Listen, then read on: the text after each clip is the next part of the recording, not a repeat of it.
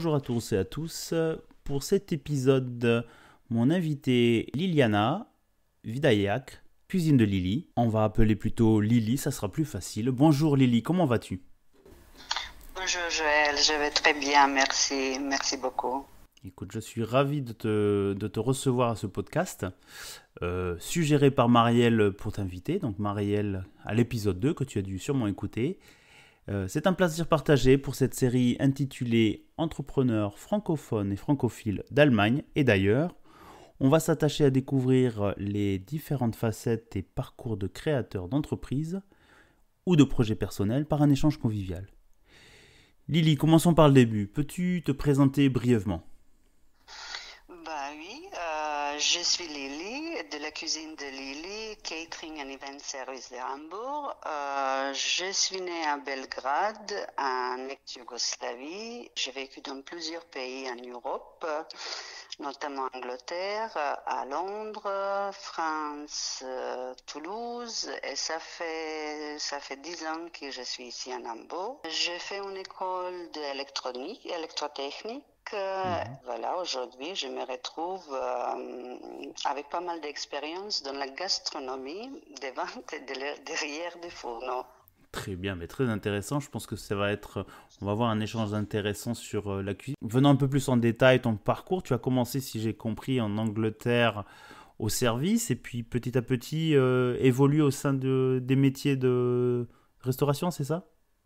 Voilà, c'est ça. J'ai commencé, ben, j'ai gravi l'échelle, euh, j'ai, arrivé à Londres euh, et comme je ne pouvais pas trouver vraiment de travail dans euh, électronique, euh, j'ai cherché un petit peu de travail dans la restauration. J'ai commencé comme un serveur euh, Mhm. et très vite, bah, j'ai, travaillé dans une chaîne de restaurants françaises, une brasserie française. Mhm. Et ben, je suis devenue manager d'un de restaurant qui était très bien noté. Et j'ai fini par gérer à, à cinq restaurants dans la région de Londres euh, avec pas mal de responsabilités. Ah ben non, c'est un parcours intéressant pour euh, de l'électro- l'électrotechnique à la restauration. Et donc après, tu es revenu en France, ou tu es venu en France, j'imagine, euh, par raison familiale, euh, si je, si je, je peux ça. imaginer. Ah ouais, c'est ça, c'est ça. On a quitté Londres et on s'est installé en début à Auch pendant un an. Et comme je trouvais rien là-bas, et j'ai commencé à mijoter mon petit projet dans ma tête pour euh, commencer, euh, pour replonger dans la restauration. Euh, on a bougé à Toulouse et là, j'ai commencé vraiment de travailler sur le projet de création d'un restaurant avec un concept.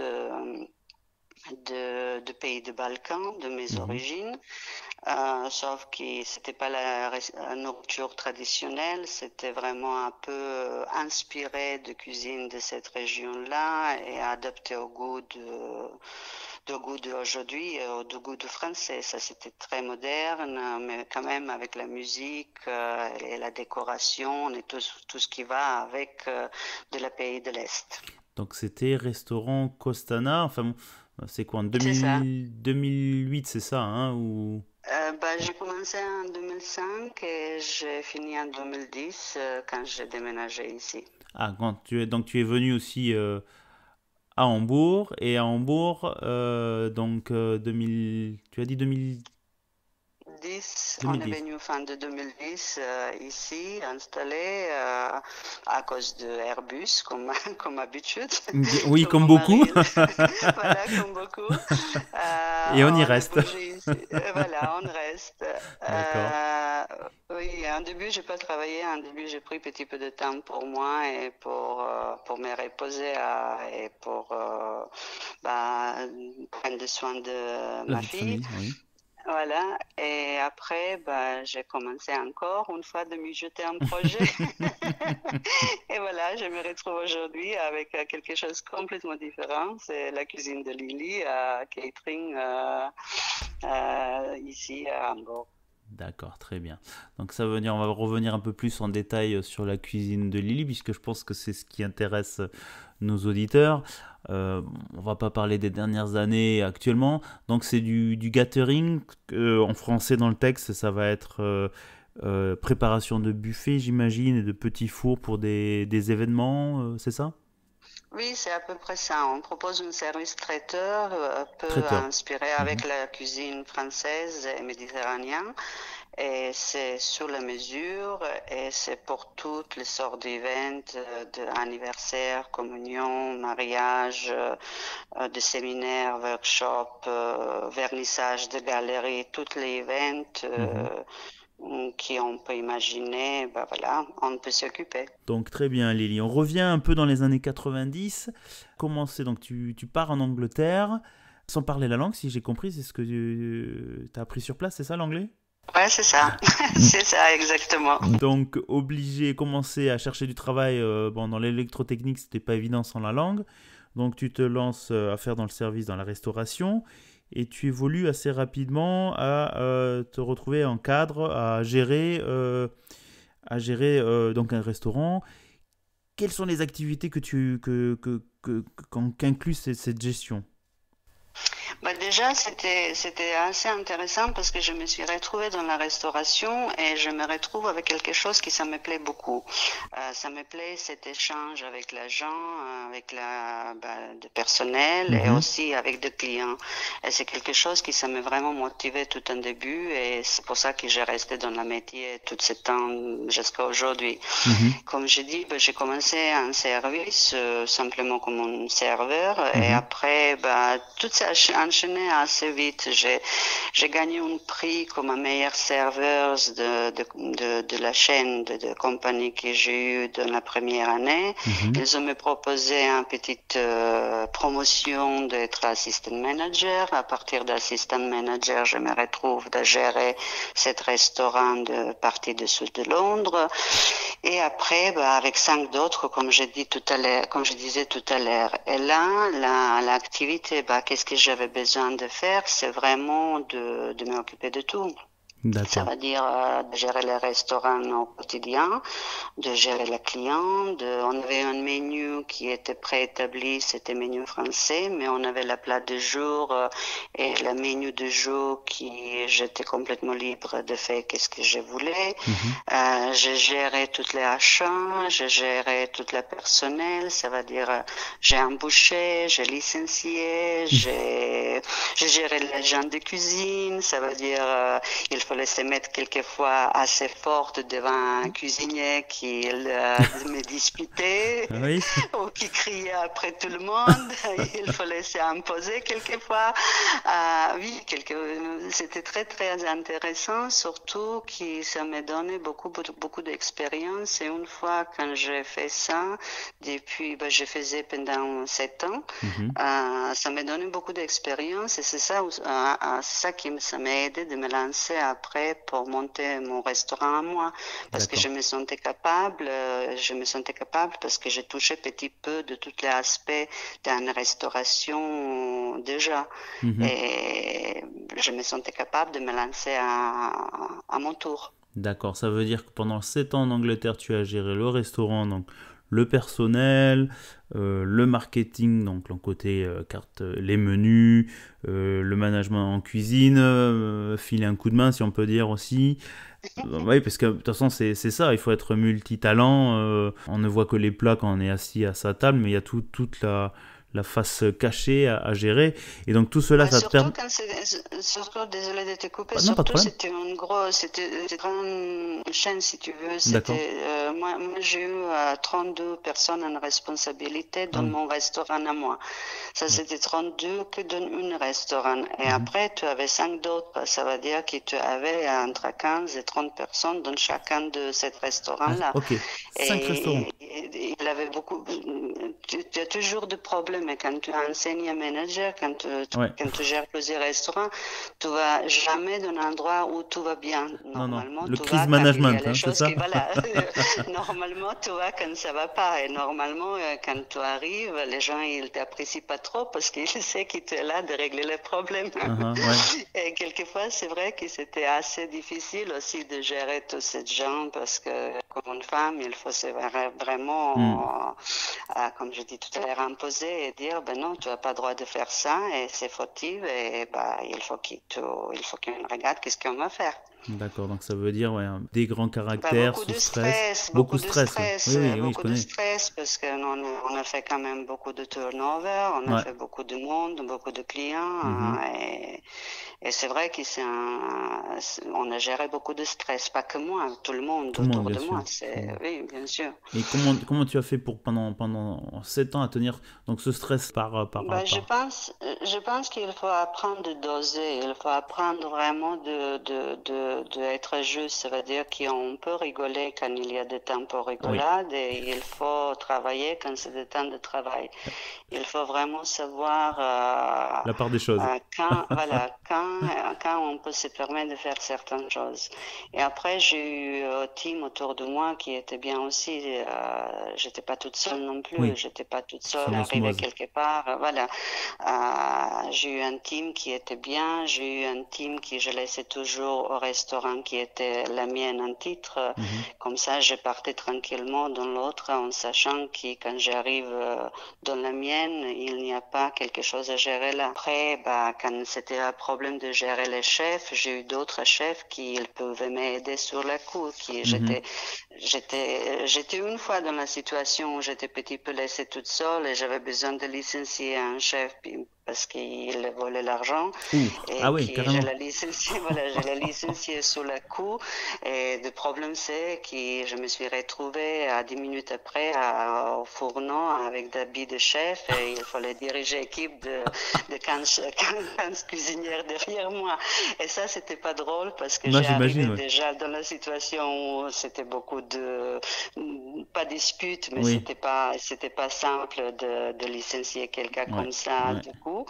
Et la team qui, bah, il fallait expliquer qu'il faut qu'il fasse ce que je la demande. et mhm. ça, c'était quand même marrant. Mais ça s'est bien fini. Du coup, du coup, ça s'est bien fini. J'ai resté là-bas pendant un certain temps. J'ai resté quelques mois là-bas et après, ça a été. Mais c'est vrai que quelquefois, la situation, elle n'était pas facile. Je peux imaginer, ouais.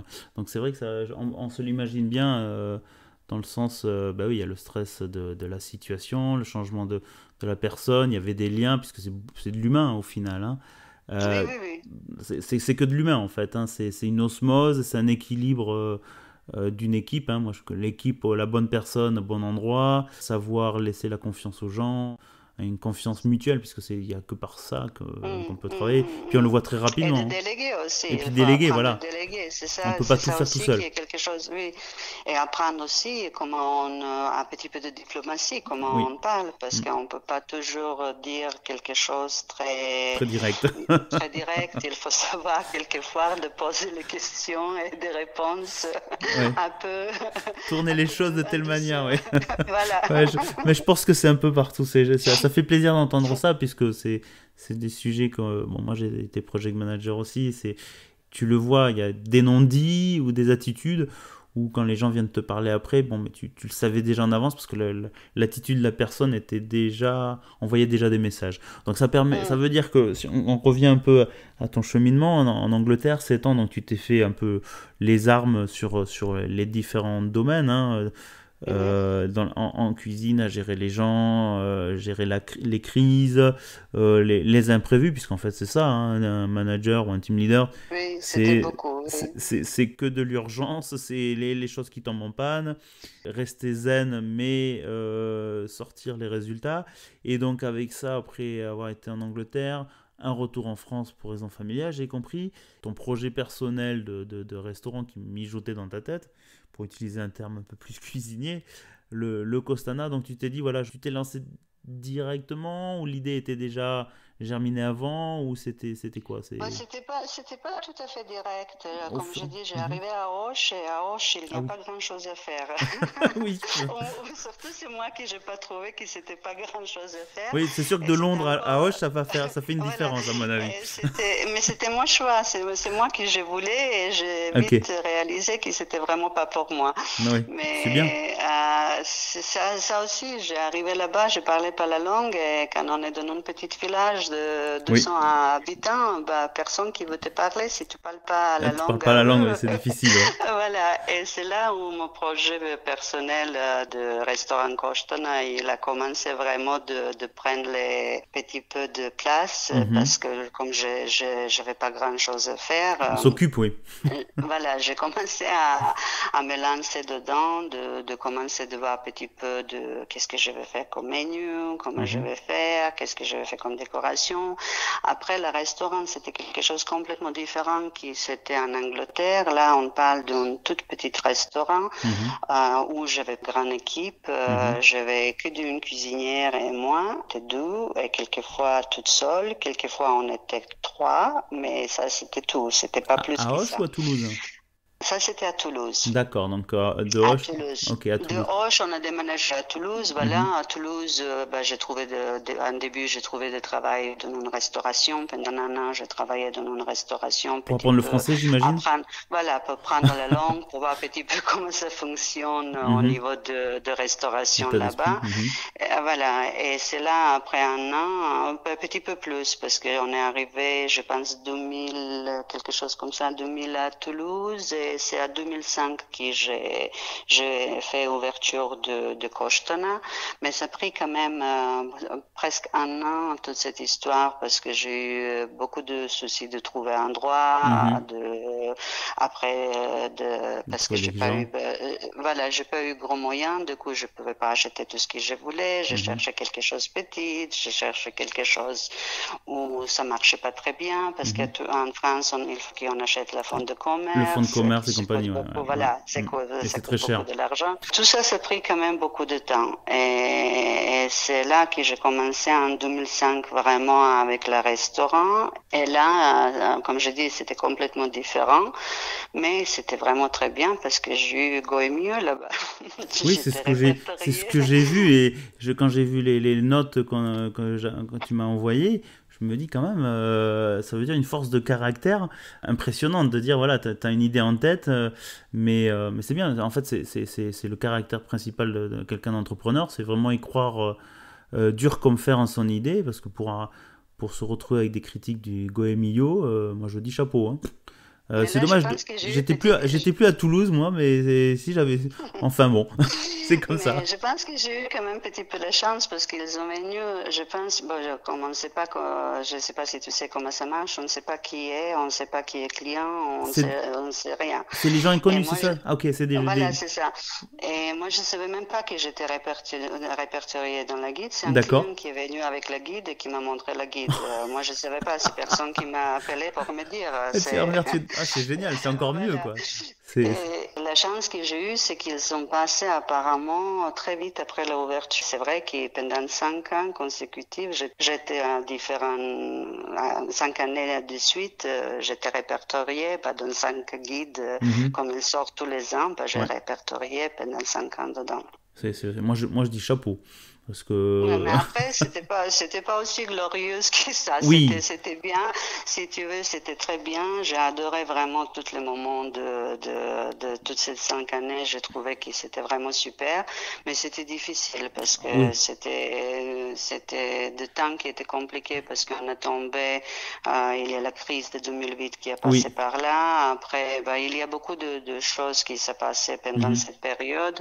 Économiquement, la France, elle a commencé à, pas être très bien. Mhm. Et la culture française par rapport à la restauration et par rapport, par rapport découverte de nouveaux euh, euh, choses à l'époque, c'était pas très ouverte. Je trouvais aussi, par exemple, j'ai eu du vin de, de, pays, de pays de Balkans et mhm. je sais qu'en début, les gens ils me disaient mais tu es folle de faire ça parce que personne qui va t'acheter de pays de mhm. vin de Macédoine, euh, tout le monde va demander de vin français.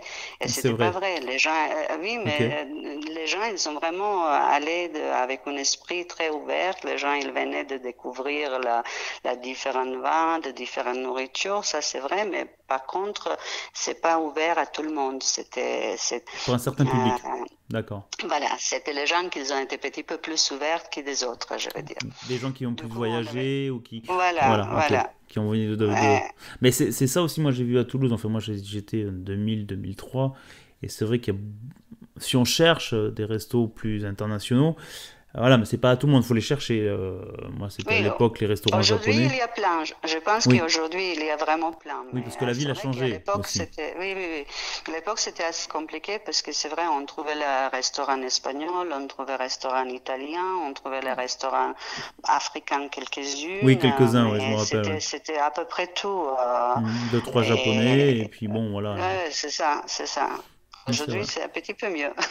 oui, ça, ça apporte, pour ne pas citer la société que tu as indiquée avant, peut-être ça s'est ouvert un peu plus, c'est vrai que...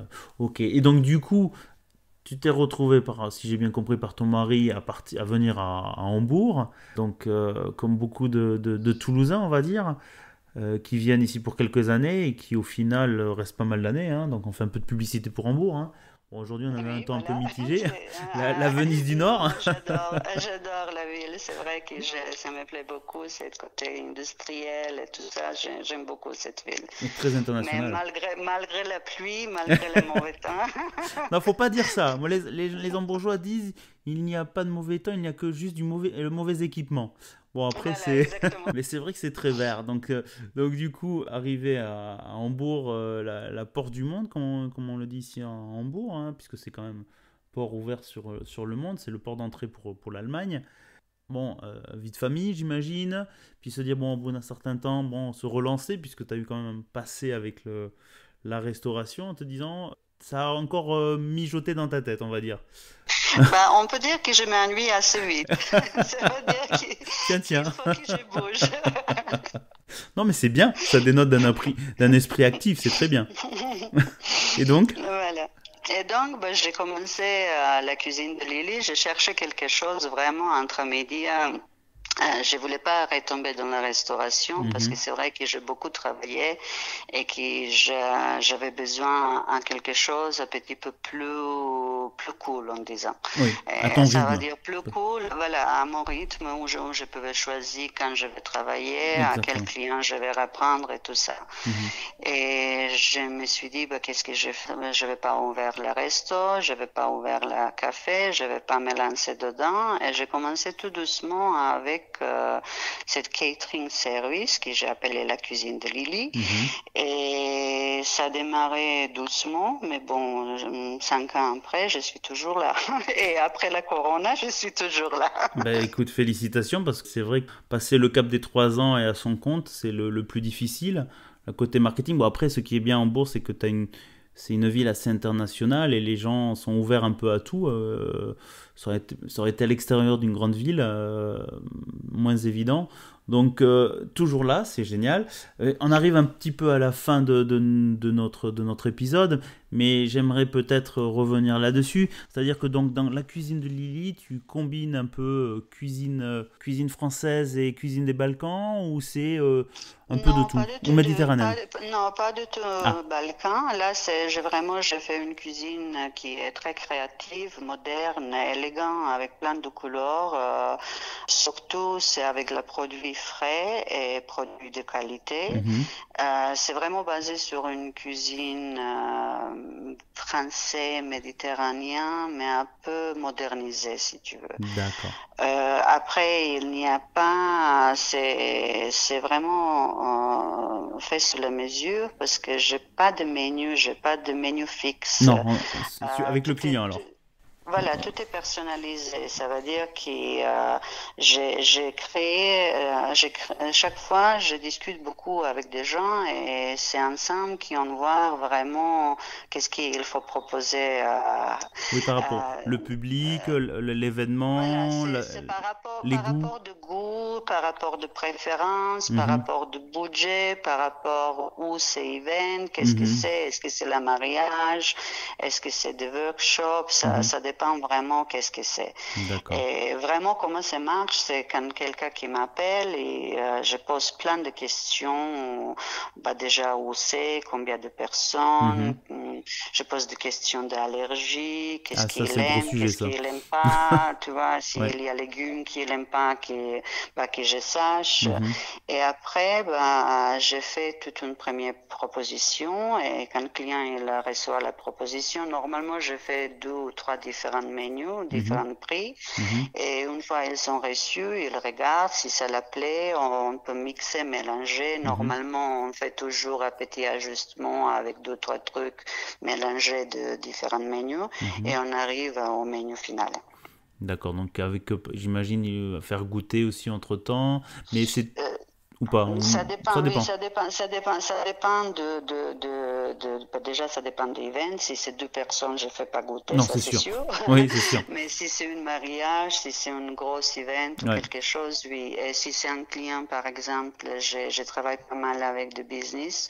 Mhm. euh, j'ai des clients qui sont vraiment réguliers, qui avec eux, bah, la première fois, j'ai fait une dégustation pour la montrer petit peu qu'est-ce qu'il peut attendre, parce qu'avec mhm. euh, business, on on, on, gère un petit peu différemment. Ils n'ont pas beaucoup de temps pour discuter. Ils ne veulent pas chaque fois m'appeler pour me dire euh, bah, le client il aime bien ça, ça et ça. Mhm. Normalement, il me juste dit qu'est-ce que c'est le budget et combien de personnes? Et euh, voilà, combien de personnes. Et après, c'est moi de la proposer menu. Et c'est juste pour ça qu'en début de notre premier euh, travail, premier contrat, on a fait une dégustation comme ça. Il sait à quoi il peut s'attendre. D'accord. Et puis ce qui est bien, c'est qu'après. Oui, pardon. Euh, normalement, quand on a un client business, euh, on, on, fait, on, on, fait la menu, mais on représente cette client-là. Ça veut dire c'est très important pour le client qu'il sache qu'est-ce qu'il peut attendre. Parce que ce client, si, si, euh, si c'est bureau qu'il veut une, un menu qui est très élégant, il sait qu'il peut l'avoir parce qu'ils ont déjà vu, ils ont déjà goûté et il sait exactement qu'est-ce qu'il attend et il va pas avoir peur d'être déçu par rapport à euh, de voir la mauvaise image par rapport à son client à lui. Donc fidéliser quoi en fait, ça c'est le plus important. Puisque, puis c'est bien aussi pour toi parce que ça te permet de, savoir au fur et à mesure avec le client, la société, euh, ce qu'ils attendent et pas une certaine routine, mais on va dire un certain standing. Et tu sais, euh, c'est plus les gens reviennent plus régulièrement. C'est enfin, je pense que c'est le principe partout même. Et donc au final, le, le client, il y a comment on appelle ça, un bindung, c'est-à-dire le la fidélisation du, client. Quoi. C'est ah, très important. C'est très important, surtout quand on parle de, de, de, de client business et aussi quand on parle de, de, privé, parce que normalement, quand on a, quand on a un client privé, euh, même si c'est pas le mariage tous les mhm. ans qu'il va faire ou de l'anniversaire ou quoi, il peut toujours recommander à quelqu'un d'autre ou peut-être pour les events au travail ou mm. quelque chose. C'est la meilleure pub. Bon, après, c'est vrai, c'est vrai que la corona, elle a joué beaucoup et c'est vrai que bah, malheureusement, la clientèle on a perdu beaucoup et là, il faut qu'on redémarre tout ça. Mais mhm. bon, ça redevient un peu normal là. Oui, je, pense que, je pense que ça revient, et puis les gens, puis il y, a un lien émotionnel avec la nourriture, je pense que c'est ça aussi. Mm, Écoute, mm. Lily, c'est la donc la cuisine de Lily. Euh, on arrive un peu à, à la fin. Je pense qu'on aurait pu continuer, en rediscuter. Euh, j'ai vu ton site, donc c'est vrai toutes les couleurs, cuisine, cuisine pour les particuliers et pour les sociétés. Est-ce que tu peux nous faire un petit rappel de, tes coordonnées ou comment te joindre? Bah, écoute, tout le, monde peut m'appeler, qui est affiché sur le site. Le site, c'est lcdlily .com. voilà. Donc LCD, euh, donc LCD c'est la cuisine de euh, D euh, L I L 2 L Y.com. Exactement. Qu'est-ce que c'est juste important de, marquer, c'est Hambourg parce que si on fait la cuisine de Lily sans marquer Hambourg, vous tombez pas sur moi. Ah ok. Malheureusement, on tombe sur une canadienne. Oui, tu ne livres pas hors de hors de Hambourg pour l'instant, d'accord. écoute, Lily, merci beaucoup de pour ton pour euh, cet entretien. C'était très, très intéressant le, ton parcours. J'espère qu'on sera amené à, se voir par les prochains événements. Écoute, à bientôt, euh, Lily. Au revoir. Merci à toi et euh, content d'être là. Merci à toi. Et ciao. Ciao.